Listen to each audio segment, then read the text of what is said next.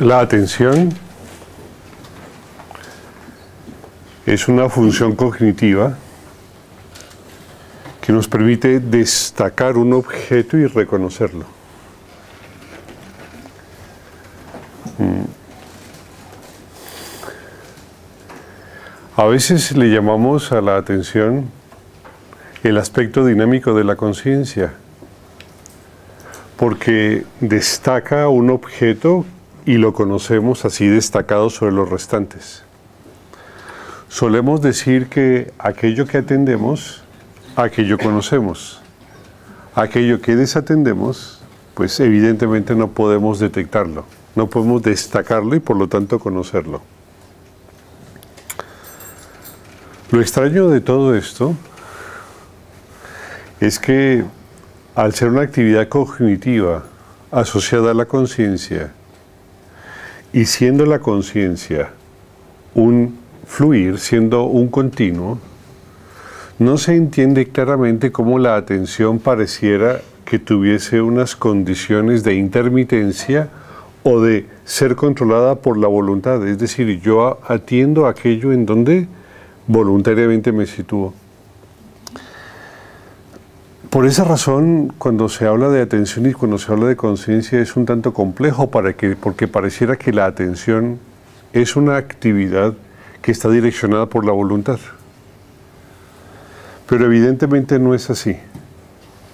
La atención no está direccionada por la voluntad, a tal punto que les digo, no atiendan nada. Si ustedes no atienden nada, ¿dónde queda la voluntad? ¿Dónde queda la atención? Queda, porque siguen atendiendo. No se sabe exactamente qué destaque ahora cuando uno plantea no atienda. No se sabe exactamente qué se atienda, pero se sigue atendiendo. ¿Estamos de acuerdo? Es decir, sin el impulso volitivo, la atención sigue activa y sigue destacando eventos.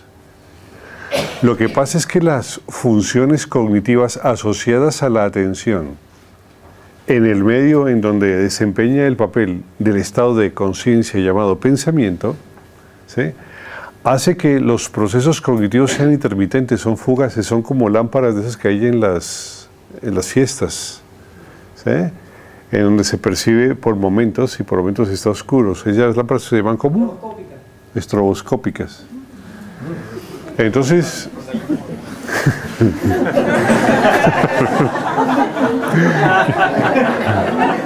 que lo ve, ¿no? Que lo ve.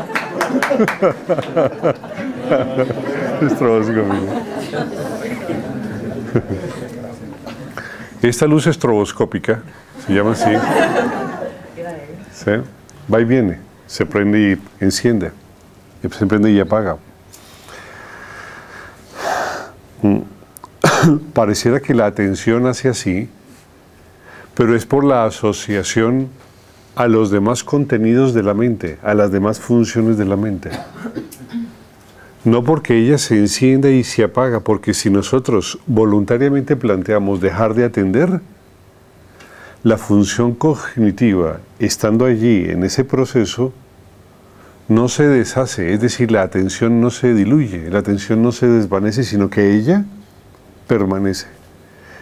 Entonces la única solución a una atención aparentemente momentánea, bajo un discurso de una conciencia completamente continua, ¿me siguen? Es que la atención tiene que asociarse a algo que, la, que le forja la condición de ser discontinua, que no es propia de la misma atención. Es una de las pocas salidas teóricas que existen para entender la razón de este proceso. ¿Cómo? Asumir una conciencia continua, ¿sí? Y plantear que la atención es una función propia de ella, es una actividad dinámica propia de la conciencia, es decir, es el aspecto reconocible de la conciencia, la atención. Y siendo que aparentemente la atención es dirigida por la voluntad, pues llegamos a una especie de contradicción entre un continuo y una momentaneidad, entre una secuencia y un continuo. Planteamos el ejemplo de que intentemos no estar atento, es decir, no planteemos una voluntad asociada a la atención y la atención sigue surgiendo. Por lo tanto, junto a la función cognitiva que produce el conocer, asociado a los elementos propios de la percepción que lo genera, tiene que haber un tipo de asociación que impide que la atención se mantenga tal como lo planteamos. Y ese planteamiento es el que nosotros abordamos y el que permitimos deslindar, es decir, llegamos a deslindar la atención de las restantes funciones cognitivas.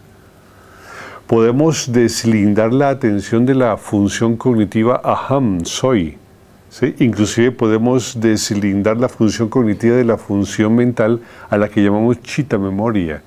Y podemos deslindar la función cognitiva de la actividad manas, agitación mental, recuerdo o referenciación de la mente.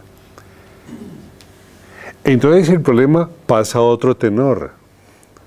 Es por qué si no hay de parte de la atención una condición momentánea y secuencial, ¿por qué se percibe como tal? ¿Me siguen? Es decir, saltamos, ponemos el problema en otro sitio. No sé si me siguen. Es decir, al solucionarlo, ponemos el problema en otro sitio.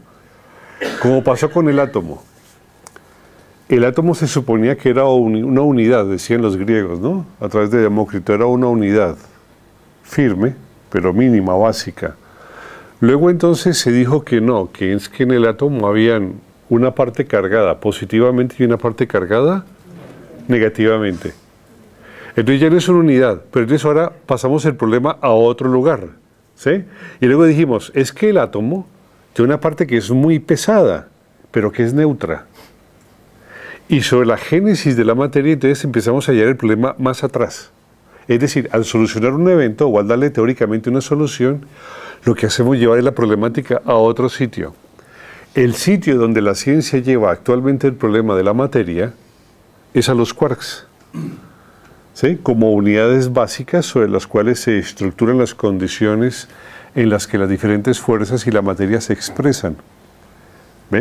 Aquí nosotros planteamos, desde el punto de vista cognitivo, que el problema no es de la atención, puesto que él es evidentemente de igual naturaleza de la conciencia. Como la atención es de igual naturaleza que la conciencia, la atención debe ser un fluir. Y definimos que evidentemente es un fluir porque si intentamos no atendernos es imposible razón por la cual el problema de la cognición estriba es en la asociación de la atención con las diversas funciones cognitivas. Sí. Si la atención es diferente a las funciones cognitivas, planteamos inclusive el hecho de que la atención puede observar las diferentes funciones cognitivas. Entonces, finalmente podemos plantear que la atención puede percibir los diversos contenidos mentales y las diferentes funciones que la mente pueda producir. ¿Me siguen? ¿Me siguen? Pero, el plantea, pero entonces el problema se plantea ya más atrás. Si esto es así, si esto es así, ¿cómo es la asociación de algo continuo con algo que es discontinuo? Y ahí viene el lío. Entonces, para solucionar ese lío, ¿sí? Se plantearon dos situaciones a nivel del Vedanta. Uno es que esa función que se asocia con la conciencia puede estudiarse de manera singular o de manera colectiva. Es una suspicacia que tiene el sistema Vedanta a través de la cual podemos solucionar algunos eventos, algunas situaciones a nivel cognitivo y plantear, por ejemplo, la razón por la cual hay una conciencia grupal, de por qué hay conciencia de raza, porque hay inconsciente colectivo, porque una región específica de un bosque tiene conciencia, porque tiene conciencia una parte de un río, porque el río entero tiene conciencia, porque el mar parece que tiene inteligencia, porque la naturaleza se expresa de esa manera. Entonces, la suspicacia hindú llevó a la posibilidad de poder estudiar ese cuerpo en donde hay asociación de la atención con eso momentáneo de diferentes maneras. Básicamente a través de dos elementos, una que es individual y otra que es colectiva. ¿sí? A la individual se le llama simplemente pues, mente o conciencia individual, según se le estudia, y a la colectiva se le llama mente colectiva o conciencia colectiva. Pero eso evidentemente no soluciona el problema. Entonces, dentro de la misma suspicacia oriental, para poder solucionar el problema de cómo hay la conexión de algo que es continuo con algo que es discontinuo, ¿estamos de acuerdo? De funciones cognitivas asociadas a la base de la función cognitiva. De funciones cognitivas como memoria, como intelecto, de funciones cognitivas como recuerdo, como razonamiento, como inteligencia, como esas funciones cognitivas que parece que son secuenciales, se pueden asociar a un todo que las contiene de manera continua. Y para eso entonces se estableció el problema de Maya. Maya es aquello que permite la convivencia de la realidad que se establece a través de las funciones cognitivas con lo real, que es la cognición pura de la conciencia en su estado continuo. Bien, eso aparentemente soluciona teóricamente el problema, pero la pregunta entonces se traslada ahora nuevamente a otro sitio. Y la pregunta nuevamente es, ¿y cómo surge Maya? ¿Estamos de acuerdo? Si de esta manera podemos teóricamente, entre comillas, solucionar a través de un modelo intelectivo el problema de la asociación de algo continuo con algo que es discontinuo, con las funciones cognitivas y la atención propia, que es la base de él, entonces venimos al problema de ¿qué es Maya? ¿Cómo surge Maya? ¿Cómo definimos Maya para poder colocarlo dentro de este modelo inmenso que, representa la posibilidad ilimitada de lo que es la cognición y la posibilidad limitada de lo que es la secuencialidad de la cognición? ¿Sí? Entonces se dice que Maya es incognoscible. ¿Sí? Se dice entonces que Maya es eh, anirvachanilla, es incognoscible, es desconocida. Se dice que Maya tiene dos poderes, el poder de velar la realidad y el poder de proyectar la ilusión. Entonces se dice que el universo es la expresión de Brahman, el absoluto, de la conciencia toda, asociada al poder de velar y proyectar el universo. Y empiezan a aparecer teorías, dicen que la única manera de poder finalmente conocer a Maya es ser Brahman. Es decir, al final todo conlleva en el modelo en que la única solución a este dilema es la experiencia propia de la no dualidad. Pero se dan cuenta cómo el inconveniente se va llevando de un sitio a otro. Esto que pasa a tenor filosófico en este proceso epistémico, también ocurre con todas las demás ciencias. Solucionando un problema se, se, crea otra inquietud. Cuando Einstein creó la teoría de la relatividad, la especial, se dio cuenta que la gravitación no hacía parte de su proceso de movimiento de los cuerpos. La teoría de la relatividad predecía que la velocidad de la luz era siempre constante en todo sistema inercial de referencia. Por lo tanto, cualquier observador en cualquier medio que observase siempre la velocidad es la misma. Pero si el Sol desapareciese, la teoría de la relatividad general, la especial, pues determinaría que la inmediata condición de la desaparición del Sol implicaría detectar que la Tierra pierde su norte y no que la señal viene a la velocidad de la luz y duraría ocho minutos en llegar. ¿Me siguen? La señal de no existencia del Sol. Entonces creó otro modelo, que es el modelo de la relatividad general. Y ese modelo de la relatividad general sirve para elementos muy grandes, pero no sirve para elementos pequeños. Es decir, estudia los grandes procesos gravitatorios y procesos másicos, pero no estudia los pequeños elementos. Es decir, cada vez que descubrimos algo, siempre falta un centavo para el euro. Y cuando conseguimos los cinco céntimos, entonces faltan tres, y cuando faltan tres, faltan dos, y cuando faltan dos, siempre falta algo para encontrar la teoría final. La teoría final lo que busca ahora a nivel de la física es lo que se llama la superfuerza un sistema matemático que pueda determinar la relación entre la relatividad y la física cuántica, es decir, la física que trabaja los campos gravitatorios de grandes tamaños y la cuántica que trabaja pequeñas energías. Y ahí van. El problema lo hemos llevado a un punto donde francamente casi la solución es imposible. Es imposible porque cuando se empieza a trabajar matemáticamente este proceso, empieza a surgir desde la perspectiva del medio en que se sigue el proceso una serie de infinitos que son inimaginables. Es decir, los matemáticos cuando empiezan a tratar de escudriñar la naturaleza y empezar a unir la fuerza relativista con la fuerza cuántica, empiezan en sus ecuaciones a aparecer toda suerte de infinitos. Eso es lo que pasa realmente.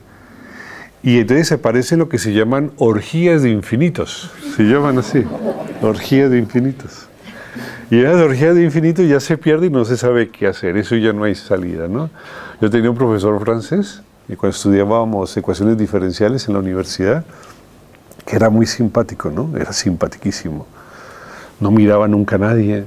Entraba, tenía siempre el mismo jersey azul, siempre el mismo jersey azul. Entraba delgadito, colocaba sus papeles y empezaba a llenar tableros. Tableros, empezaba a, colocar una ecuación diferencial tipo y empezaba a solucionarla. Y las varias formas de solucionar la ecuación diferencial. Claro, uno allí, pues copia y copia y copia y copia. Y aparte hablaba medio en francés, entonces no se le entendía mucho, ¿no? Y cuando empezaban a llegar las sumatorias y empezaban a aparecer los infinitos, y entonces decía, y aquí aparece la orgía de factoriales. Y se pegaba una entusiasmada y uno no sabía qué le estaba pasando al pobre, ¿no? Sí, sí, sí, sí. Eso era muy simpático. Cuando encontramos una solución a un evento, muchas veces lo que hacemos es crear otro ámbito en donde necesariamente tenemos que introducir una nueva pregunta. Y esa nueva pregunta pues difícilmente encuentra muchas veces soluciones. El soluciona la cognición natural de un ser humano, en donde detecta los objetos y ve que ellos existen, y plantea que eso ocurre gracias a la atención, y que la atención es un proceso netamente personal, si lo vemos desde esa simpleza, empezamos a notar que por qué no percibimos todos lo mismo, porque la representación cognitiva en cada persona cambia. Y desde ahí, para darle solución a esa simpleza, empiezan a aparecer toda suerte de teorías. Y la teoría del Vedanta finaliza en el proceso de Maya. Lo que se establece entonces es que en el estado de conciencia al que llamamos pensamiento, debido a la funcionalidad del aparato mental, dependiendo de la funcionalidad del aparato mental, ¿sí? depende cómo actúe el aparato mental. Eso es como el motor de un coche, que funciona diferente a alturas a estar a nivel del mar. ¿sí? La combustión que hace de oxígeno es otra. Tiene mucho más potencia un coche a nivel del mar que a alturas. ¿Estamos de acuerdo? Bien, así la funcionalidad de la mente cambia dependiendo de los atributos del estado de conciencia donde se sitúe. En el estado de conciencia, en donde el individuo reconoce a través de procesos dialécticos, es decir, en estructuras cognitivas donde una percepción, para validarla, requiere de la memoria para contrastarla, ¿me siguen? Joder, salió fácil. En el proceso cognitivo, en donde los objetos conocidos requieren de ser, los conocidos a través de los sentidos, requieren de ser contrastados contra la memoria, ¿sí? Para que la imagen coincidente de ambas se llame síntesis, ¿me siguen? Mientras se usa ese esquema cognitivo, evidentemente dual, la percepción de las cosas se realiza a través de una sensación de atención fugaz y momentánea, como todo lo que procede y ocurre en ese proceso de cognición. Pero cuando el estado de conciencia cambia, una de las variables que se establecen en esa nueva forma tienen que ver con la continuidad.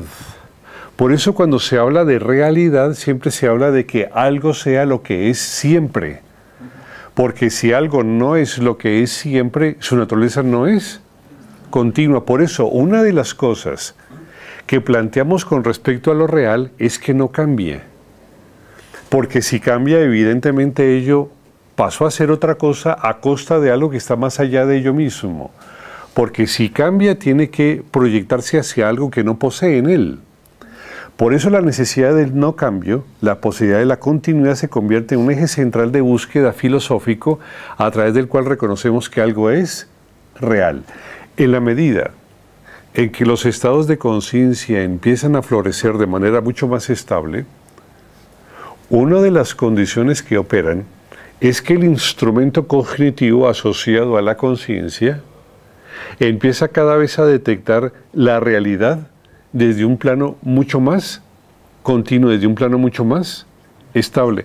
Por esa razón, en el estado de observación, ustedes son capaces de arrullarse en la vacuidad de la ausencia de los contenidos mentales. Y arrullarse implica permanecer constantemente allí los pocos segundos o los minutos que sean capaces de sostenerse. ¿Entienden? Esta condición de sostenimiento en la percepción denota una forma de cognición cada vez más estable que prontamente se acerca cada vez más a lo real. ¿Estamos de acuerdo? Por eso establecemos que la cognición más estable y más real es aquella que jamás cambia respecto a ninguna condición del perceptor ni de lo percibido. Y la condición más estable en donde nada cambia respecto al perceptor y a lo percibido es aquella que llamamos no dualidad, en donde el observador no se diferencia del observado aunque el observado cambie y aunque el observador cambie. Porque en lo observado está la totalidad del observador y en el observador está la totalidad de lo observado. ¿Estamos de acuerdo? Pero desde la franja cognitiva que atañe a nuestra experiencia cotidiana, lo que notamos evidentemente es que hay una momentaneidad y una fugacidad en la percepción, que los objetos aparecen y desaparecen. Pero no porque la conciencia aparezca y desaparezca, porque si intentamos no atender, no podemos. ¿Me sigue bien la simpleza? Si intentamos no atender, no podemos. Por lo tanto, lo que está en constante cambio es la asociación de la función cognitiva atención con el proceso perceptivo con el que se asocia para conocer los objetos. ¿Me siguen? ¿Sí? Y en ese proceso perceptivo para conocer los objetos, entonces fácilmente nos podemos enganchar en los recuerdos, podemos engancharnos en los sentidos o podemos enganchar teóricamente y aparentemente la atención en los objetos externos. ¿Estamos de acuerdo? ¿Sí? El hecho de que la función cognitiva cambiante que solemos usar para poder observar los objetos hace, asociada al hecho mismo de la momentaneidad, que la atención se pueda distribuir en los recuerdos, en los sentidos o en los objetos externos. Por eso cuando hacemos la práctica interior, o la práctica externa primero, cuando hacemos la práctica externa, un objeto no cobra siempre la misma relevancia, porque dependiendo de lo que en la atención al objeto se destaque, entonces vemos que ello es real vemos que dependiendo de que la atención se sitúe en algún sentido, entonces el objeto pierde consistencia. O si se sitúa en un recuerdo no asociado a él, simplemente pierde su presencia. Entonces el problema no es del objeto, ¿se dan cuenta? ¿Se cuenta que el problema no es que el objeto tenga o no tenga la realidad? ¿Me siguen? ¿Me entienden lo que trato de decirles? No es que el objeto dependa o no dependa de lo que piense de él o que lo recuerde de lo que recuerde de él. ¿Me siguen? Por eso, desde la perspectiva del Vedanta, el planteamiento que hace la filosofía de realismo o materialismo e idealismo es incoherente, no tiene solución y evidentemente no tiene solución. Porque el problema no es ni el objeto ni la idea que lo genera. El problema es de la forma de cognición que se establece en el campo o en el estado de conciencia en donde se percibe el objeto. ¿Me siguen? Bien. Cuando hacemos la práctica externa, solemos engancharnos en tres lugares. Solemos engancharnos en los recuerdos y entonces el objeto desaparece. Nos enganchamos en los sentidos, entonces el objeto se distorsiona o se opaca o nos enganchamos en el objeto y según lo que destaque, eso es lo que se conoce. ¿Estamos de acuerdo? ¿Sí? De las tres formas de cognición, planteamos una cosa que es fundamental, y es que aquella en donde la atención destaca los objetos es más natural que las otras dos restantes. Es más natural, planteamos eso, simplemente es más natural es tan natural que en el instante donde el objeto destaca en la condición en que él se presente, según el campo que se establezca, ¿ah? según el campo que se establezca, en eso a que destaca, en esa realidad que emerge, allí lo que conocemos tiene los visos de realidad, pero no aparece quien conozca lo que se conoce. Cuando destaca el objeto en la función cognitiva que se asocia a ese instante, por ser natural, allí se puede destacar sin quien destaque, se puede conocer sin quien conozca, se puede hablar sin quien hable, se puede hacer sin que actúe, se puede pensar sin quien piensa. Es una modificación de la condición cognitiva que opera cuando ocurre esa circunstancia. Y eso es lo que nosotros intentamos proceder, eso es lo que intentamos nosotros hacer. Que la atención se mantenga continuamente en el objeto natural, en el objeto externo, para crear una percepción natural. Y de esa manera entonces la atención, cuya naturaleza esencialmente es un continuo, va a percibirse o va a expresarse de manera también más natural como el continuo propio en la percepción de la observación, de la concentración o de la meditación. Por eso de esas tres modalidades en donde la atención puede localizarse, escogemos una de ellas, porque la que imprime el sello de que destaque el objeto, permite el que no destaque quién es el que percibe el objeto. Y a eso le llamamos yoidad. Y eso hace que la yoidad no sea una función a, no sea una función aparte del acto cognitivo, sino que sea un proceso del acto cognitivo. No sé si me acaban de entender lo que les digo. El yo no es una condición psicológica individual independiente de la función cognitiva, sino que es parte de la función cognitiva. ¿Me siguen? Y por ser parte de la función cognitiva es observable, o puede aparecer o puede desaparecer. El gran problema en que aborda esto la psicología es que la función cognitiva asume una condición psicológica, independiente, individual, con rasgos personales. Y aunque esa función cognitiva, independiente, individual y con rasgos personales nunca se ha probado su existencia, ¿sí? porque es como el coco de los niños, que todo el mundo habla de él, pero que nadie sabe dónde anda el coco, Así pasa con el fantasma del yo. El yo no es una función psicológica, es una función cognitiva. Y hace parte de los elementos cognitivos en donde se expresan las realidades que percibimos. ¿Me siguen? En el acto de presencialidad, el yo desaparece de la función cognitiva y la función cognitiva se reestructura, lo cual procede a crear un nuevo estado de conciencia. Y a ese nuevo estado de conciencia le llamamos inicialmente observación.